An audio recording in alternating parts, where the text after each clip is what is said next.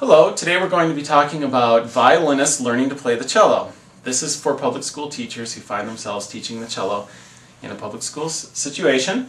And this is Anna. She is a violinist here at Central Michigan University. She's the guinea pig for this video. Um, okay, let's start with the left hand. So Anna, if you could just put the left hand up there on the fingerboard. Okay, this is very typical. Uh, the left hand is very slanted because on the violin the hand is, is much more slanted than on the cello. So the first thing we need to fix is the slant. And while I'm not a huge advocate of a perfectly square hand position, I do like to have a little slant to the hand. Um, we do need to square this off just a little bit. Okay, good. And with that, the thumb is often to the side of the neck when violinists uh, put their hands on the cello fingerboard there. So you can see. So we also need to move the thumb more to the left side of the neck. So for violinists, that's going to feel a little strange to you to have the thumb to the side. Okay, and another issue here we have to watch out for is the base of the knuckles here, the base of the fingers, these knuckles, often are too high in relationship to the fingerboard.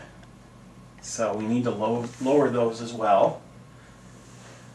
And one more issue is the curve of the fingers. Violinists tend to curve their fingers much more actually than cellists do.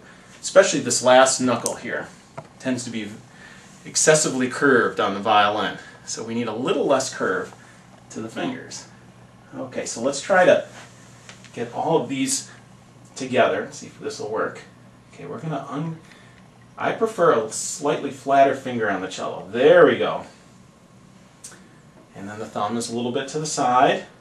Now, cellists disagree about where to put the thumb. I actually prefer it, uh, I, I move my thumb around, which you'll see on other pages on the website where I explain that. But when teaching beginners, it's probably a good idea to have the thumb somewhere between the first and the second finger, no further down than the second finger. Okay. So there we go. The fingers are a little close together, but you can see we fixed a lot of the problems. Right? The fingers aren't too curved. The knuckles here at the base of the fingers are not excessively elevated. The thumb is to the side of the fingerboard. Um, the wrist looks a little bit bent up, so we're going to fix that too. And we have a slight slant to the hand. So that actually looks pretty good. One last thing is the, finger, the neck has gotten a little bit far away, so we're going to move that in. And that actually looks pretty good. Okay? So, let's now move on to the right hand.